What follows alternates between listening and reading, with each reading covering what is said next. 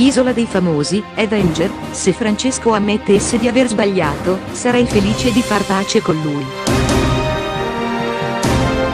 Intervistata dal settimanale Chi, Avenger ha ribadito cosa è successo all'isola dei famosi con Francesco Monte. Avevamo un bel rapporto, quando l'ho rimproverato per le canne è cambiato.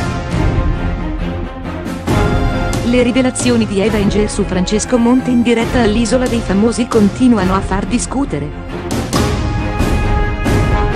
E se da una parte l'ex tronista di Uomini e Donne smentisce ogni tipo di accusa, dall'altra la ex pornostar rincara la dose.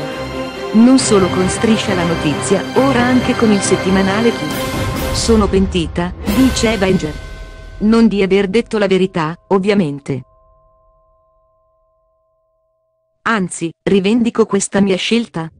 A posteriori, però, dando ragione ad Alessia Marcuzzi, nota della redazione, avrei agito in un altro modo.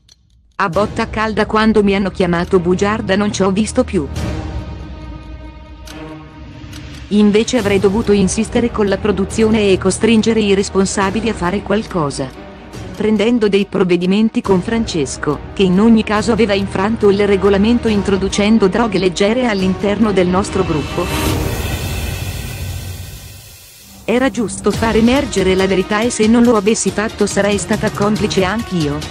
La modalità è stata sbagliata, però. Se Francesco ammettesse di aver sbagliato, sarei felice di far pace con lui. Al settimanale diretto da Alfonso Signorini, Langer spiega perché ha attaccato Francesco Monte in diretta dopo una settimana di permanenza all'isola. Inizialmente, continua Eva, ognuno di noi aveva la sua stanza, in albergo, quindi anche se sapevo che Francesco stava fumando perché lo avevo visto acquistare l'erba, ho preferito farmi i fatti miei. Quando invece ci hanno trasferito in 70 metri quadrati in 17 ho cominciato a essere insofferente, come gli altri.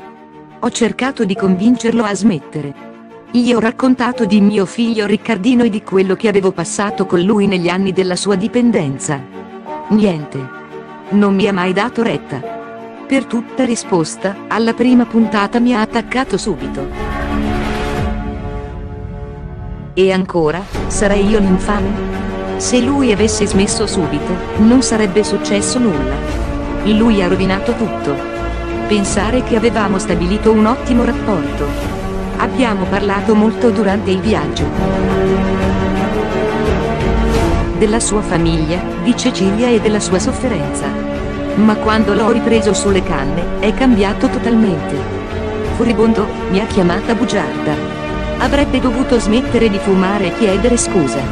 Ammettere subito la sua debolezza lo avrebbe salvato.